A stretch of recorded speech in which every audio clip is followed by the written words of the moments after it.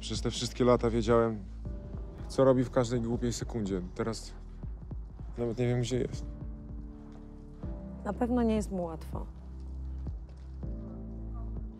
Skoro nie wraca, to lepiej mu tam niż ze mną. Tego nie wiesz.